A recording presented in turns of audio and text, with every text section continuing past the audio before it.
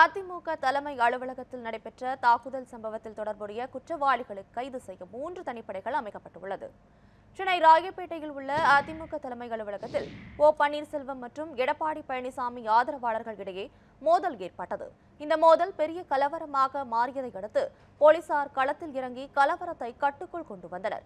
இந்நிலையில் கலவரத்தில் ஈடுபட்டதாக ஓபிஎஸ் ஆதரவாளர்கள் இருநூறு பேர் மீதும் இபிஎஸ் ஆதரவாளர்கள் இருநூறு பேர் மீதும் போலீசார் வழக்கு பதிவு செய்துள்ளனர்.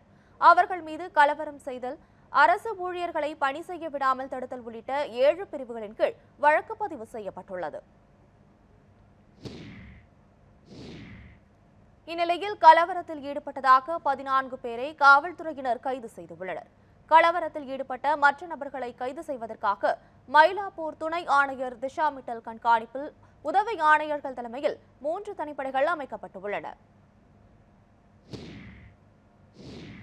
இதனிடையே அதிமுக தலைமை அலுவலகத்தில் இருந்த ஆவணங்களை கொள்ளையடித்து சென்றதாக ஓ பன்னீர்செல்வம் வைத்திலிங்கம் உள்ளிட்டோர் மீது அதிமுக மாவட்ட செயலாளர் ஆதி ராஜாராம் காவல் நிலையத்தில் புகார் அளித்துள்ளார்.